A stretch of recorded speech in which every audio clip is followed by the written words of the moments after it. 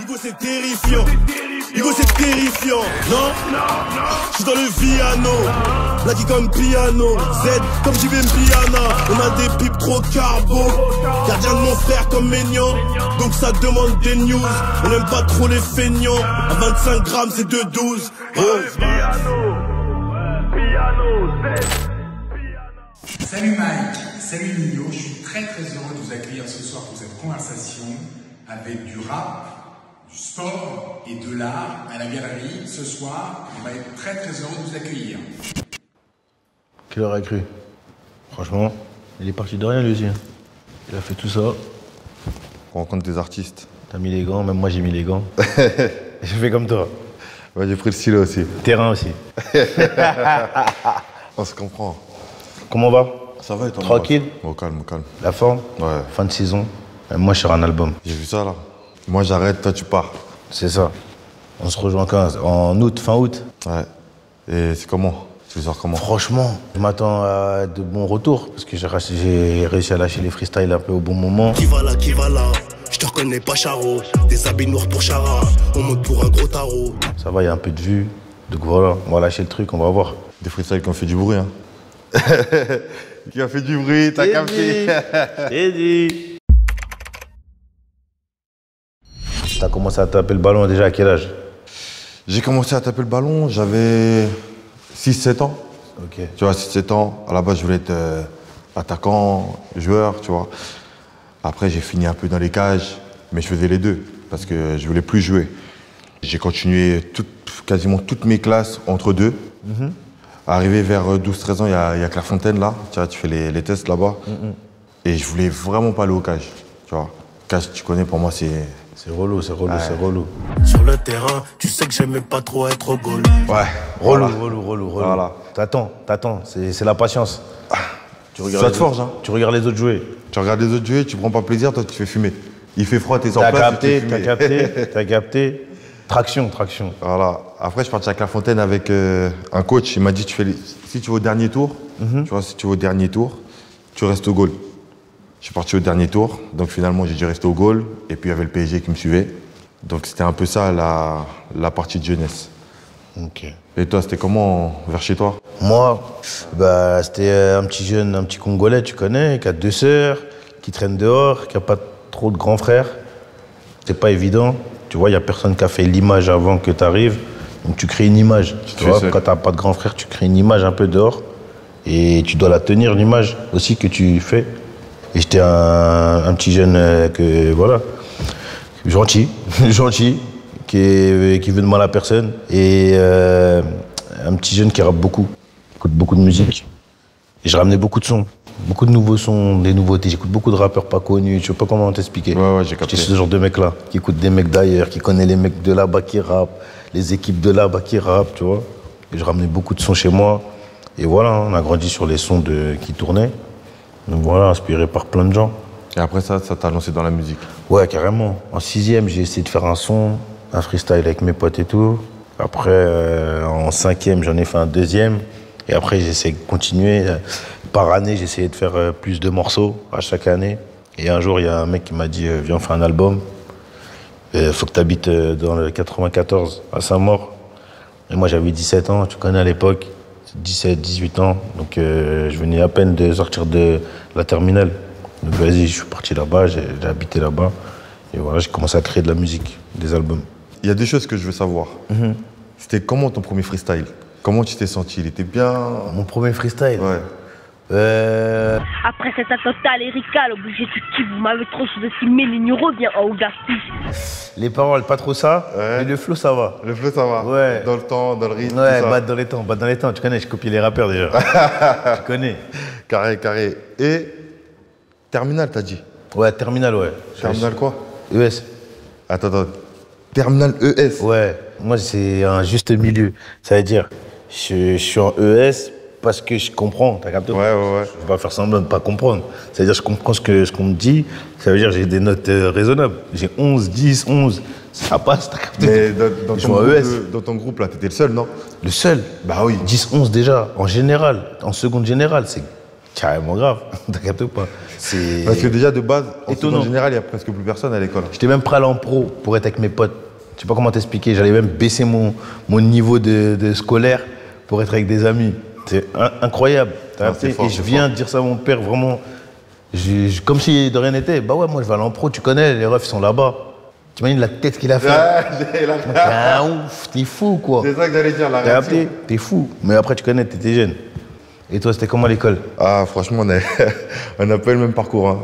Non, moi, à l'école, c'était un désastre. Un désastre. Un désastre. Ah ouais. Tu connais, on était ma- matrixés par la rue, Ouais, bah oui. par dehors, par tout ce qui se passait. J'ai fait un, un bon cursus, on va dire, tu vois. Mm. Déjà, j'ai commencé en sixième, c'était la galère. Sixième, c'est chaud. Première année, conseil de discipline. Ça, c'était c'était une galère. Deuxième année, j'ai frôlé conseil de discipline. Tu vois, j'avais que des avertissements, tout ça, des blâmes et tout. Ma mère, elle venait à l'école, elle pétait les plombs. J'étais toujours viré pour bagarre. Mauvais. Ouais, laisse tomber, c'était relou. Troisième année, là, par contre, tu vois, on va dire que c'est là que j'ai redressé la barre. Parce qu'à cette époque-là, il y avait Paris qui était sur moi. Ok. Et Paris, c'était sur moi, tu vois, il y avait mes deux premiers trimestres, j'ai foutu la merde, comme pas possible. Ils m'ont convoqué au camp des loges, et je vais jamais oublier ça. Devant ma mère, ils ont pris mon bulletin, ils m'ont regardé, ils ont dit Mais t'es un voyou Ah, c'est ça. Devant ma mère. Ah, c'est ça. C'est ça, c'était un électrochoc. Ma mère en larmes, Ouais, elle était mauvais. pas bien. Pas bon. Elle commence à se poser des questions Mais qu'est-ce que j'ai créé? Pas bon. Et moi, le problème, c'était que j'avais l'éducation de la maison, mais dehors. T'as compris. Tu vois, dehors, compris. c'était une galère, tu sais. Ça, quand tu te fais attraper à l'école, Yaga. Et à partir du moment où le PSG, ils m'ont mis sous coup de pression, t'es un voyou. Si tu ramènes pas un, Un bulletin correct. un bulletin correct, on ne te prend pas. Et j'étais refusé de voilà les trucs à cause de l'école. Hein. Ouais, bah oui. Euh, plein de clubs, tu vois, je vais même pas les citer, tu vois. J'ai fait un troisième trimestre de fou malade. J'ai jamais fait ça de ma vie. 12 de moyenne, encouragement. Putain. Euh, L'été d'après, je à Paris. Ah ouais, lourd. À partir de là, je suis resté, tu vois, dans un bon truc, jusqu'en seconde générale. Et moi, on m'a dit quelque chose. un jour, tu t'es mis à faire un 16. T'as écrit un 16. T'as un 16 mesures.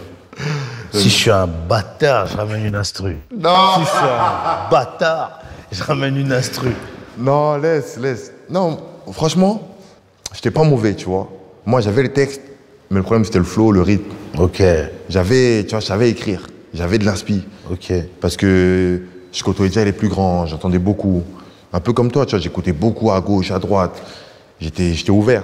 Je savais écrire, mais tout ce qui était flow, c'était compliqué. Donc, euh, j'ai fait des petits sons comme ci, comme ça, tu vois.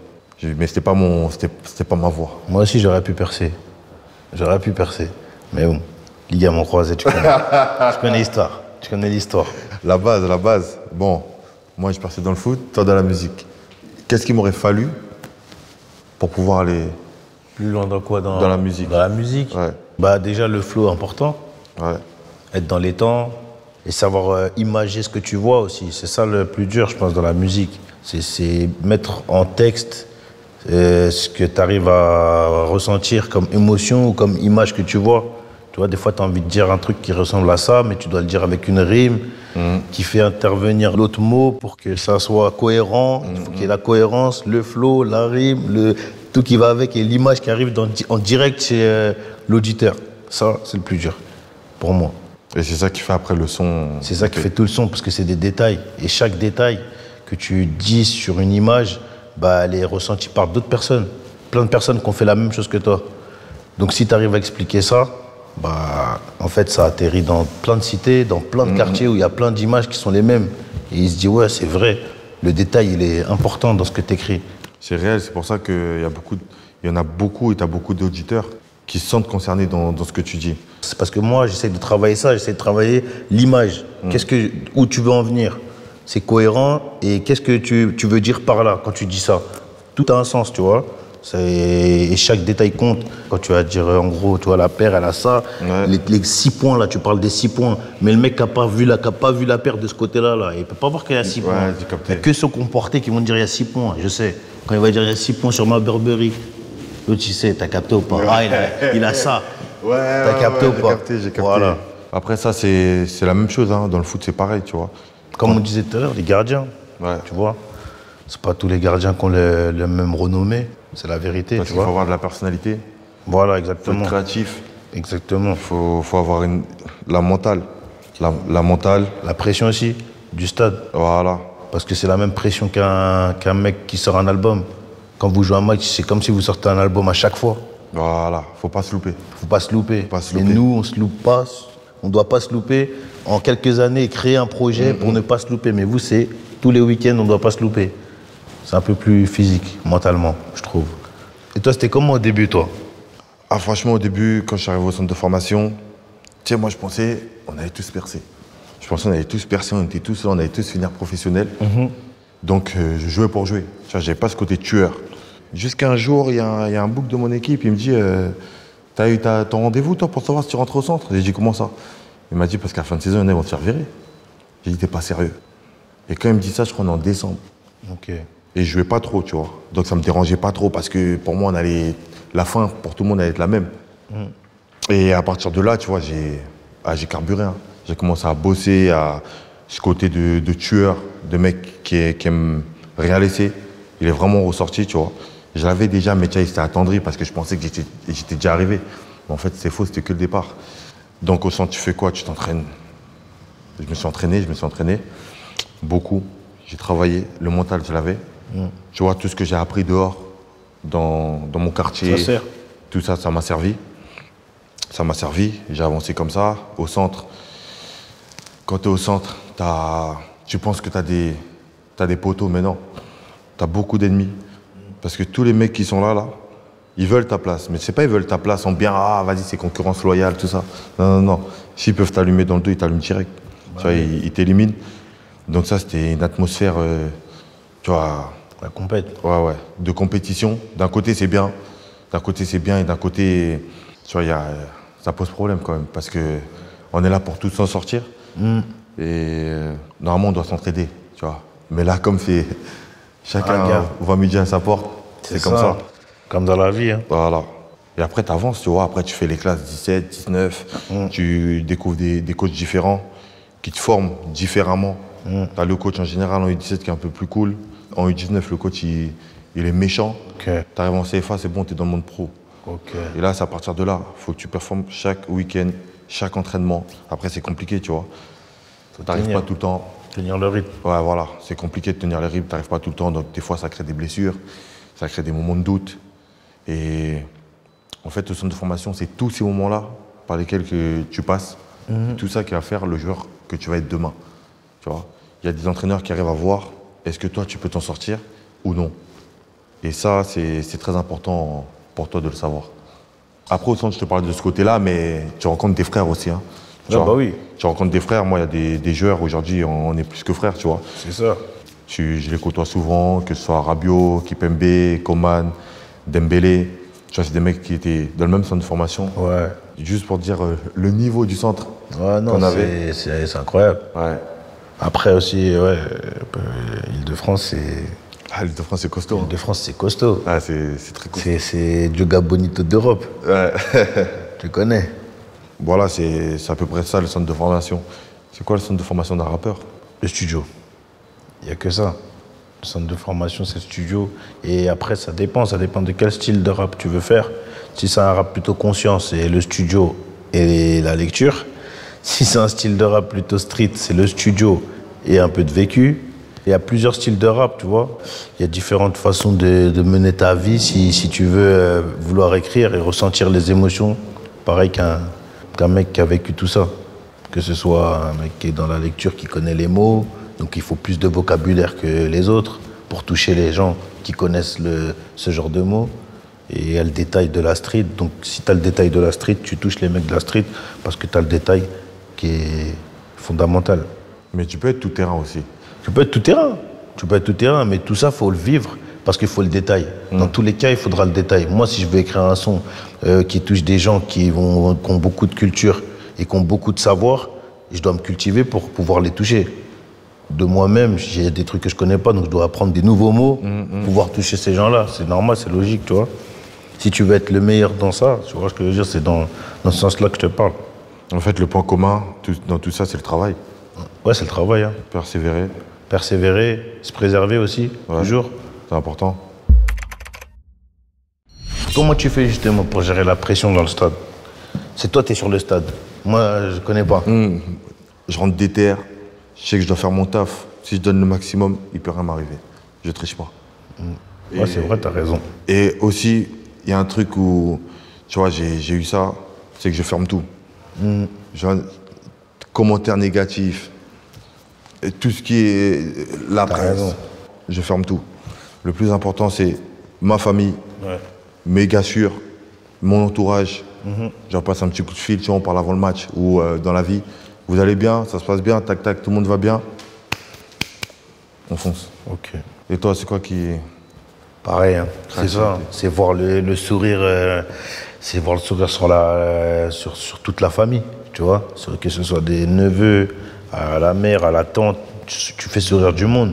Tu t'en rends pas compte, mais en vrai de vrai, quand tu travailles en famille, déjà tu fais travailler du monde, tu fais rentrer une économie chez toi et tu donnes le sourire à tout le monde quand tu peux, si tu déçois pas. Comme dans la vie, tu es un humain, tu peux décevoir aussi, mais tu essaies de donner le sourire tous les jours. Et quand tu arrives à voir ta mère sourire tous les jours, c'est une victoire de ouf. De ouf. C'est le plus important. Tu vois ce que je veux dire? Qu'elle se plaigne de pas grand-chose. Tu vois, comparé à avant, tu fais des comparaisons avec euh, avant. Qu'est-ce qui lui manquait avant et qu'est-ce qui lui manque maintenant? Si tu as réussi à combler ce manque-là, c'est que c'est gagné, tu vois. C'est clair. Le sourire, ça, ça remplace la, tri- la tristesse. Ouais. Parce qu'avant, tu as vu, quand, ils- quand on était jeunes, on voyait nos parents, ils étaient beaucoup Carrément, tristes. hein. carrément. Tu vois ce que je veux dire ou pas? Ils sont souvent tristes. Après, c'est, euh, ils essaient de sourire, mais c'est des sourires maîtrisés, contrôlés. Moi, je veux des vrais sourires. T'as capté ou pas. T'as capté ou pas Pas des sourires contrôlés pour euh, cacher euh, un truc. Des, des vraies joies, tu vois. Des, Des vraies, vraies joies. joies, voilà. Quand tu rentres, tu ramènes le disque d'or, Voilà. le disque de platine, Voilà. Quand elle vient avec moi aux cérémonies de meilleur Voilà. Voilà, exactement. tu vois, après, t'es ah, t'es- t'es tranquille. Hein. Carrément. Le boulot, il est fait. Parce qu'en vrai, devant les projecteurs, c'est toi ou c'est moi. Mais derrière nous, il y a du démon. Il y a du monde. C'est-à-dire que c'est lourd. C'est lourd à porter. C'est lourd à porter, mais si tu arrives à faire briller la lumière et à tenir le coup, bah tu fais briller tout le monde, en vrai. Tu vois, comme je disais tout à l'heure à un pote à moi, si je suis, si je suis concentré, c'est pour euh, être, c'est pour les gens limite, tu vois. C'est pour moi et pour les gens, pour qu'on puisse en rigoler dans quelques années, tu vois. Parce que c'est un- une petite concentration, un petit temps, une lumière qu'on contrôle et après voilà, tout le monde peut en être content après. C'est pour, ça que tu dis- c'est pour ça que tu dis aussi, on fera la fête quand il n'y aura plus rien à faire. Ne montre pas ta richesse, on fera les beaux quand il y aura plus rien à faire. Voilà. Exactement. C'est que tu as contrôlé toute cette lumière-là, tu as réussi à, à garder ta concentration pendant la lumière, tu t'es pas déconcentré quand il y avait les flashs, et après les flashs, vous en rigolez en vrai de De ouf. Tu vois, C'est obligé. des, c'est des anecdotes. Obligé. Bon, ok, vas-y, si, si j'ai bien capté ton parcours, tu as commencé bas, difficile. Tu jamais rien lâché, tu as charbonné. Tu étais bien entouré, des bons gars. C'est ce qui fait euh, ce que tu es aujourd'hui. Carrément. Toi aussi, tu as réussi à, à montrer que tu étais le meilleur du centre. Parce qu'il faut montrer que tu es le meilleur du centre pour être titulaire. Et quand tu es titulaire, il faut contrôler la lumière. Donc tu as réussi à contrôler la lumière. Aujourd'hui, tu es là, tu es, le grand gardien de l'équipe de France quand même. faut, faut dire la vérité. Tu es le grand gardien de l'équipe de France. Tu vois ce que à je veux Dieu. dire Donc s'il y a une Coupe du Monde, je veux aller au stade. Ah, tu seras là, mon gars. T'inquiète pas. Ouais. On, va, on va faire le boulot, on va Ouais, faire le boulot. on fera la fête, on fera la fête. Voilà, on fera, on fera le boulot, après on fera la fête. Fort, de ouf. C'est important. De toute façon, pour l'instant, le boulot, il n'est pas fini, hein, que ce soit pour toi ou pour moi. Hmm. En tout cas, on en a appris. Ouais. Moi, j'ai appris comment t'es devenu qui t'es. Et toi, t'as appris aussi, un peu. Donc, euh, attention, je reviens pas avec un petit, un petit 16. 16, hein Belek, hein Un petit 16. Belek, hein Avant que, que je prenne la fuite, là, je, Ouais, je place le fit, hein Il y a un gars, directement. Bon, on fait un petit tour dans ce bel endroit. Ouais, on va voir les, les œuvres. partie 2, Vas-y, c'est carré. deuxième mi-temps. Ça, ça, tu l'as vu cette scène? Euh, fais voir, c'est laquelle? Break, break, break. Non, fais voir. I built this shit. Me. Brick by brick. And I'll be damned if I let you tear it down just because you don't like the way another nigga talk.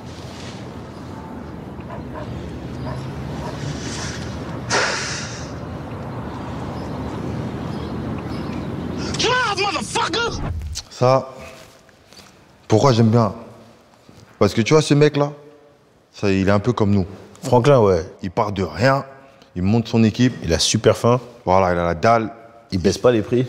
voilà. Il se laisse pas avoir. Et il sait ce qu'il veut, il sait où il veut aller. Voilà. Et là, là, tu vois, il rappelle son gars sûr à l'ordre. Parce que voilà, il, il sent que son business, il part à la dérive.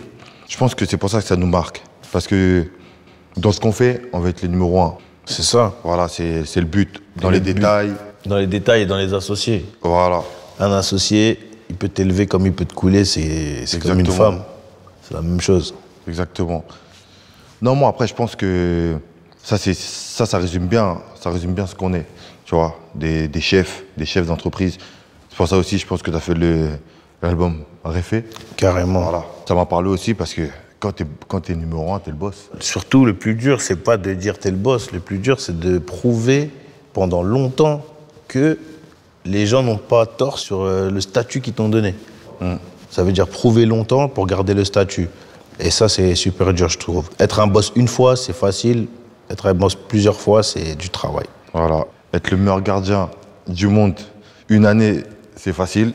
Mais sur plusieurs Mais années. le faire quatre ans d'affilée, Voilà. ça, ça suscite à, t'as capté, à parler. C'est pour ça qu'il faut la mentale, il faut travailler. Carrément. Travailler, avoir la dalle, rien lâcher. Ah oui, toujours. Peu importe les millions peu importe ce que tu as, la notoriété, Important. faut, faut, continuer, faut continuer à bosser. Moi je, vois les, moi, je vois les choses comme ça. Toi, dans ton domaine, tu as tout accompli. Bah, dans, dans ce que je voulais montrer en tout cas, ouais. Dans ce que je voulais montrer aux gens, euh, que, que, que je savais rapper et que je pouvais euh, contrôler un business, bah voilà, c'est ça que j'ai voulu faire. Ça, je trouve que pour moi, accompli. voilà, c'est accompli. Après, les nouveaux objectifs, c'est développer d'autres business et savoir gérer une entreprise qui n'est pas forcément musique, musicale. Tu vois, gérer une entreprise qui est dans l'alimentaire, gérer une entreprise qui est dans le transport. Il y a toutes ces choses-là, ça a des codes. Mais en vrai, ça, ça, ça, ça, ça fait vraiment partie de la mentale, ça. Bah ouais, Parce qu'en tu fait, tu ne te reposes pas. Tu dis pas, ouais, j'ai réussi là dans un premier objectif, c'est, fini et basta. Bah ouais, Toi, tu la, la vie elle est longue, t'as capté Ouais, toi, tu vas encore chercher Si plus tu loin. le veux, la vie est longue. Donc on essaie de trouver des nouveaux objectifs qui débutent euh, d'en bas, comme quand on a Mmh. commencé la musique. Ça, ça fait que ta passion, tu vois, elle dure. Elle dure dans le temps. J'ai capté. quand c'est nouveau, ça, fait, ça peut que durer en vrai. Ouais, tu ouais. vois ce que je veux dire? Tu essaies de batailler, tu dois perdre d'abord. Le temps que tu perds, ça, ça va prendre 8 ans. Le temps que tu apprennes, ça va prendre 10 ans. Tu deviens expert dans ce que tu sais. Et c'est là que tu deviens boss. Voilà. Quand tu arrives à 11 ans, tu es rodé. Ça fait 11 ans que je fais ça. Et tu vois, même quand on parle de, de motivation, tu vois, on parle de motivation et tout, tu vois, c'était croisé. Ce qui pouvait me donner de la motivation, c'est que moi, dans mon milieu, je suis là, tu vois, et pour moi, c'est pas fini.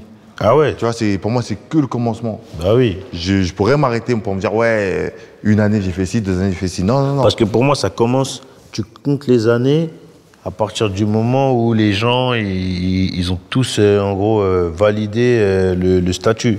C'est là que tu débutes. C'est pas quand tu es joueur, dans un club et tout. Tu vois, ça, c'est pas les pro. années? Quand- même pas quand tu commences pro. Quand les gens, ils, ils disent, c'est lui.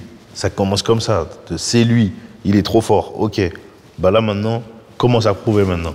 Mais comment t'as, toi, tu t'es dit, ah, là, maintenant, mon point de vue, c'est moi. Qu'est-ce que je fais? On retravaille, on repart à la base. Comment j'en suis arrivé à arriver à, à ce que la personne elle dise c'est lui? J'ai travaillé. Et avant ça, j'étais où? Ok, j'ai commencé comme ça. Tu repars toujours à la base. La base, chez vous, c'est l'entraînement. Nous, c'est le studio.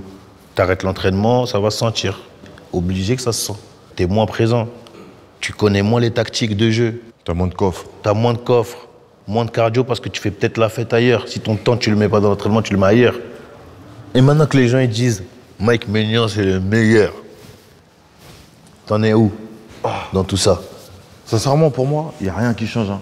Rien qui change Ouais. Comme tu as dit, travail. Et encore, je travaille, je dirais, trois fois plus. Trois fois plus. Trois fois plus. Et là, je vais dans le détail. La plupart des bases, je les ai. Qu'est-ce que je fais? C'est qu'en en vrai, ces bases-là, j'essaie de les garder et de travailler dans le détail. Pourquoi j'ai arrêté ce ballon-là?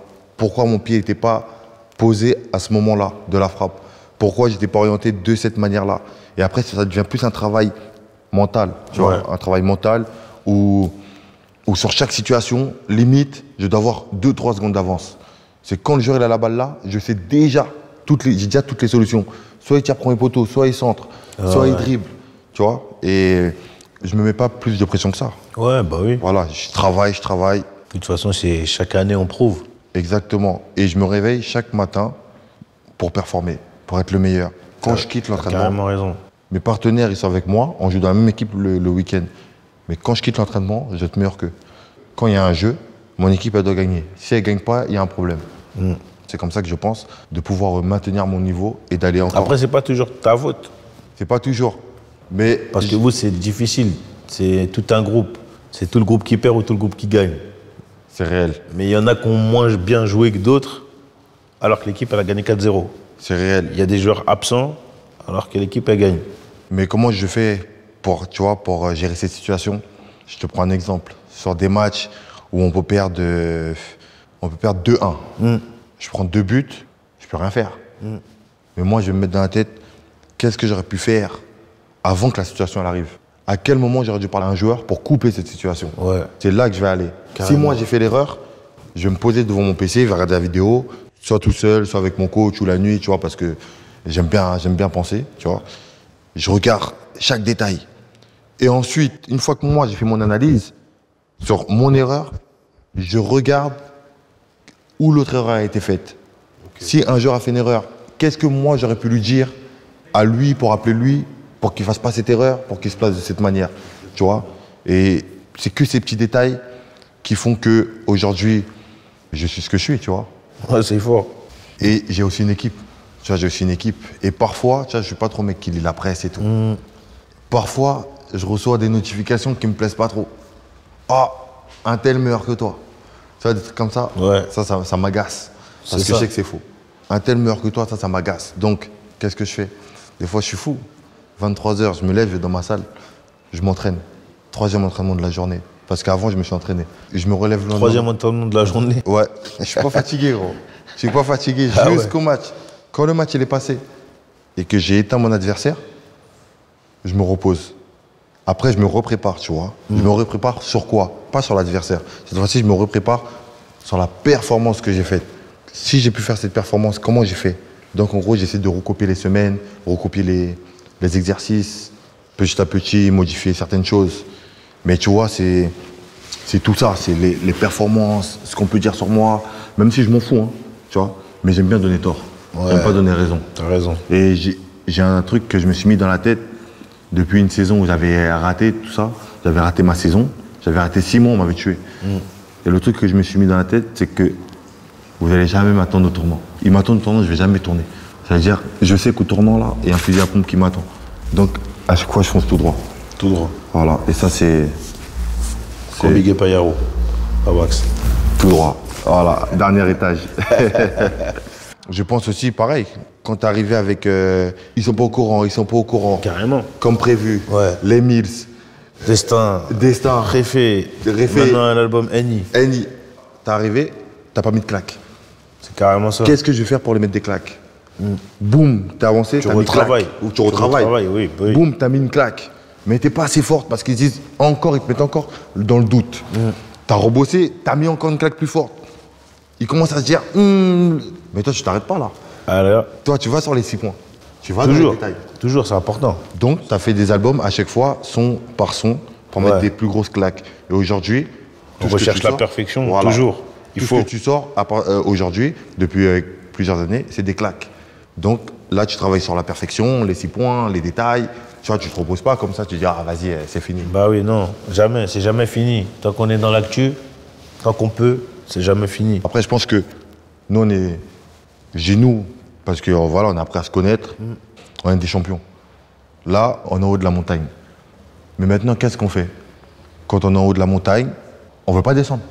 Ah, pour pas descendre, faut des, faut des soldats qui te préviennent en bas s'il y a un souci, pour pas que la montagne s'écroule. Faut, faut des gens qui surveillent la montagne pour pouvoir tenir au-dessus de la montagne. C'est pour ça que l'équipe, elle est solide et importante. Important.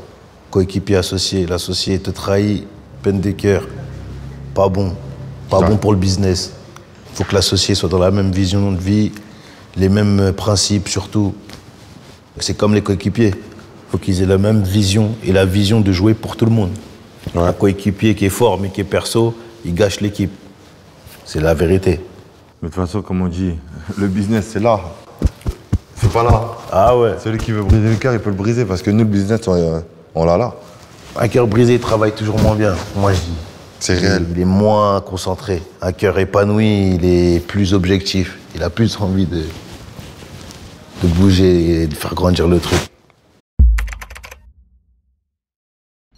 Quand tu as eu de l'argent, tu as acheté quoi en premier? La première chose que tu as acheté? La première chose que j'ai acheté, j'ai acheté une Sans mentir. Hein. Ah, sans Non. mentir. Pour être honnête avec toi, à mon premier salaire professionnel, je pouvais rien faire. C'était trop bas. Mais quand j'ai signé mon deuxième contrat, Ouais. première chose que j'ai acheté, c'est une maison à ma mère. Ouais, important. Direct. Important. J'ai sorti de Villers-le-Bel. Elle aimait le secteur, hein, tu vois. Elle aimait le secteur, mais j'ai sorti de Villers-le-Bel parce que il n'y a pas de prix.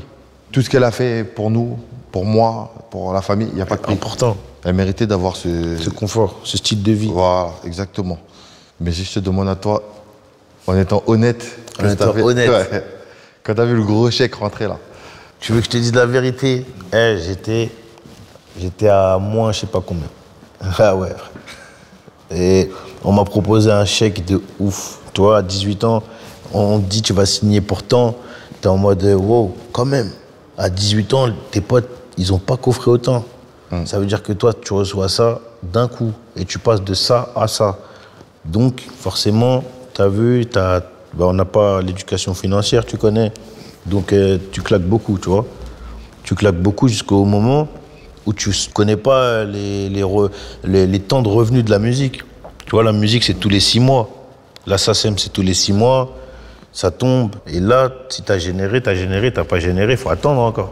Il faut générer. Tu vois ce que je veux dire? Mais ça veut dire quoi? Il faut sortir des sons? Bah, faut sortir des sons, il faut de la musique. Il faut de la musique qui marche beaucoup pour que ça stream beaucoup et que ça rentre beaucoup. Donc sinon, ça rentre très peu.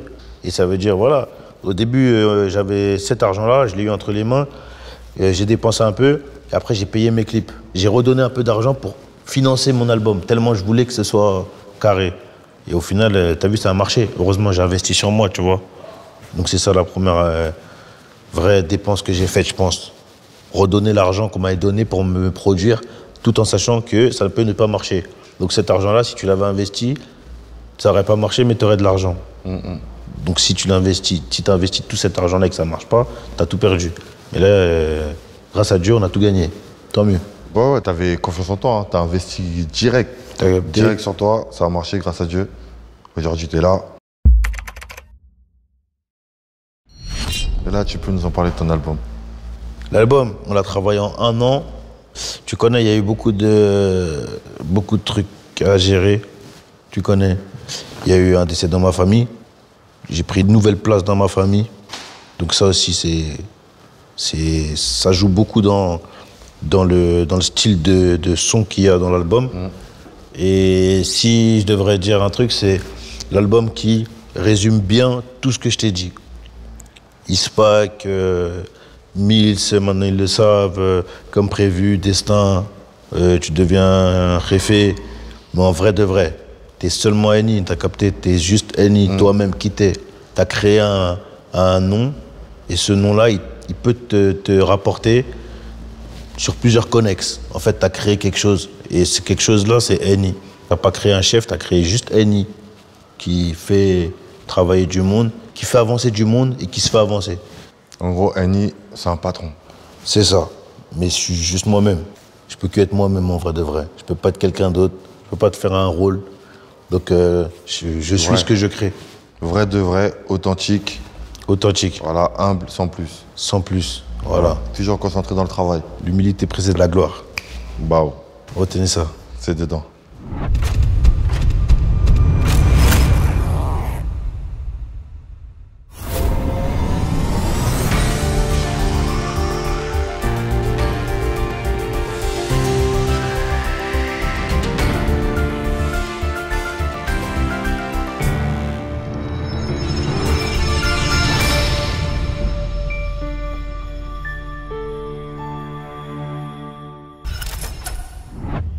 Égérie. Missoni. Ouais, C'est ça. c'est ça, c'est ça. Adidas. C'est la mode. Ah, c'est la mode. C'est la mode. Moi, c'est ma mode à moi. Moi aussi, hein, tu sais, j'ai- je me suis lancé dedans un peu là, tu vois, pour changer un peu. Oui. J'ai mon pull, hein. J'ai- il y a des pulls ou quoi? Ya, ya, t'inquiète. Ok. Ya, ya, le ya, maillot aussi. Le jaune, là, l'équipe de France. Un peu édition, t'as Ya, capté, ya, limité ya. façon. Ya pour toi. On voit ça à droite.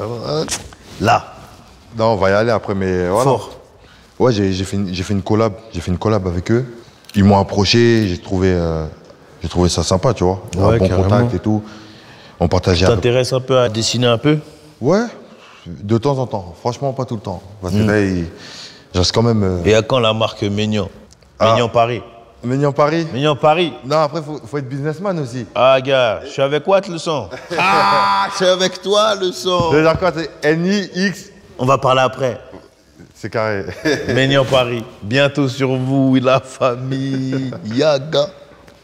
non, on va voir ce que ça va donner, mais Fort. je pense que le travail, elle a été. Ça va sortir ça en C'est beau novembre. gosse. C'est beau gosse. Ça va, ça va le faire. Non, moi, ce que, ce que je fais, c'est qu'on a souvent rendez-vous à Milan, dans leur local. Mhm. Tu vois, j'ai regardé euh, comment ils travaillaient. Tout fait à la main. Ok. Tout fait à la main. c'est- Il y a du monde qui taffe là-bas. Et je donne mes idées. Ils me montrent ce qu'ils ont. Mhm. J'essaye de les aider à, à dessiner des choses qui touchent tout le monde, comme, comme la musique ou comme les performances. Ce qu'on peut faire, que ça touche tout le monde, tu vois, que ce soit jeune, ancien. On attend la première sortie pour voir comment ça, ça, va, ça va avancer. Après, euh, on verra pour le futur. hein. Fort. Ça, c'est un des objectifs que j'ai dans le futur pour. euh, Se pour, diversifier euh, voilà, toujours. pour me diversifier. Des, des objectifs aussi dans le foot, toujours. Tu vois, comme on a Bah déjà oui. été en haut de la montagne. Pousser la montagne encore. La, avec- mode, la mode va avec le foot. Pour mode tes rêves. Euh, c'est que euh, mes générations qui suivent après moi continuent la chaîne. C'est ça mes rêves. On a créé des chaînes, ce qu'on appelle une chaîne, tu vois, c'est une chaîne familiale. Donc c'est c'est des semi-dynasties. Tu vois ce que je veux dire ou pas? À partir du moment où il y a une économie et des projets qui se font dans, un- dans, dans une famille, ben, il faut que ces gens-là qui suivent derrière nous, ils continuent la chaîne. Donc c'est ça. Et là, de là, on sera puissant. Et toi, c'est quoi ton rêve? Moi, sincèrement, c'est pas trop rêve, c'est plus objectif. Ouais. Tu vois, j'ai- j'ai- j'aimerais. Ce que j'aimerais, c'est qu'on s'en sorte tous, tu vois. C'est que moi, je, je puisse continuer dans mon domaine, Ouais. à aller de l'avant, à, à m'ouvrir des portes. Parce que les portes que je vais m'ouvrir, ça va m'aider à faire grossir le patrimoine, Carrément. À prendre de la force. Et tous les gens qui sont avec moi depuis le départ, c'est-à-dire famille, gars sûrs, proches, ils pourront avancer. Tu vois, Carrément. ils vont pouvoir avancer. Ça, c'est quelque chose d'important que j'ai j'ai envie de faire. C'est qu'on avance tous dans, dans le bon sens. Et euh, voilà, ils m'ont donné la force. Moi, je travaille avec leur force. Et si Dieu le veut, avec toute la force qu'ils m'ont donnée, moi, je peux leur redonner. Tenez, vous m'avez tellement aidé. Ça, c'est de la reconnaissance. Vous m'avez tellement aidé que vous aussi, en fait, vous n'avez pas, vous avez même pas remarqué que la force qu'on m'avait donnée, c'était votre travail, en fait. Carrément. Et c'est ça que j'ai en tête. Il y a des gens qui servent, qui vont pas te servir dans, dans ton travail, mais qui te servent dans ton, dans ton, dans ton, dans ton bonheur intérieur. Exactement. Tu vois, les voir sourire, c'est un bonheur intérieur. Et ça, ça t'aide à, à avancer, à fond, à fond la caisse. Pour toi, ils travaillent pas avec toi. Ils t'aident à être là. Juste à être là, ils t'aident. C'est c'est ce qu'on appelle les gens de l'ombre. Les gens de l'ombre, les vrais gens. Voilà. Qui, eux, ils sont pas dans les caméras, non. Voilà. c'est derrière, dans les coulisses. Voilà. Nous, on prend les projecteurs, on, on prend tout. Voilà. On derrière. essaie de gérer la lumière Voilà. et eux, ils essayent de gérer le bac. Comme ça, au moins, quand on revient sous la lumière, on est stylé et bien programmé. Exactement. Le bon Dieu nous facilite avant que le jeu soit fini. Ils veulent mon Wari, mais j'ai bossé dur pour l'avoir. Mon reflet, je connais le dossier. Fumer le shit et rapper mes émotions. Je suis impatient de pouvoir les crosser. Henny, Henny, Henny, Henny. C'est pas un movie, c'est la vraie vie. C'est pas des méchants, c'est des grosses. Dash, les canards, et je rallume la belle Après, euh, on essaie de faire au mieux. On essaie de prouver à chaque fois qu'on est présent dans- pendant le match. On travaille pour une équipe à chaque fois. L'équipe travaille pour nous. Moment Donc, voilà. difficile, jamais rien lâcher, avoir la mentale. Le monde, Chico. C'est tout ce qu'il y a dedans. ah ouais. On a des pipes trop carbo. Gardien de mon frère comme Maignan. Donc ça demande des news. On aime pas trop les feignants. À 25 grammes, c'est 2,12.